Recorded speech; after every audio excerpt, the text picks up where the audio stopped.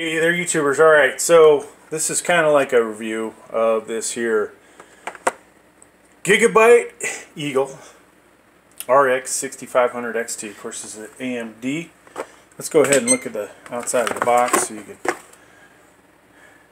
see that aspect. So it was 1080p, 4 gig, PCIe 4.0. Um, this is got to be the absolute worst PCIe 4.0 card I ever bought. I honestly feel like it's worse than the RX 5500 XT. Like they took a step back. Obviously, 5500 XT there was a 4 gig, 8 gig version. 8 gig version I own. I like that a lot better than this. I don't. I've never done a side by side comparison with them, but it just for whatever reason feels like for the money that was a much better buy than this. Now the cheapest one of these you'll find out there, I believe, is about 229. Uh, this particular one cost me 249. Limited monitor outputs on this. In case you actually have more than two monitors, you've got DisplayPort and HDMI. But the performance, you know, 1080p low, 1080p medium. Uh, maybe some games you can get 1080p high good luck getting full epic. Maybe Fortnite, you know, 1080p epic, no shadows. But if you want to run this 144 hertz, um, you know, it's it's going to be hard unless you drop down your quality. It's definitely not a 1440p gaming graphics card, but most of you know that already.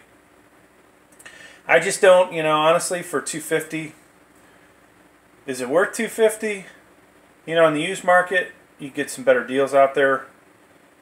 What would be better? Obviously, spending a bit more money, right? But it's going to cost you $170 more to jump up probably to the next price point, somewhere in there, to get an RX 6600. Huge difference between this and the RX 6600. The RX 6600 XT, even greater performance difference. Personally, if you can get a RTX 3050 cheaper uh, or in the same price smart price range, you're not going to get it cheaper. But if you can get it for 250 to 350, I would buy that over this any day of the week. Now,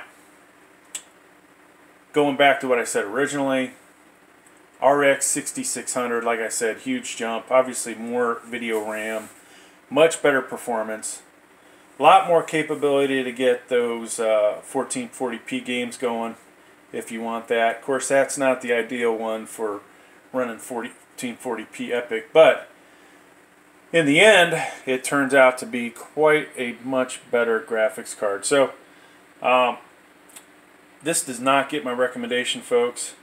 My review is a little late on this. Most of you probably won't give a shit, but uh, that's my thoughts.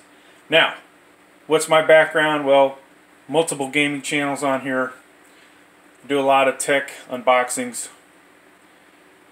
We own about 40 graphics cards now. I've probably purchased well over 100 graphics cards over the years. And that's that's that folks. So, thanks for checking out the video. Please like, please subscribe. Thank you.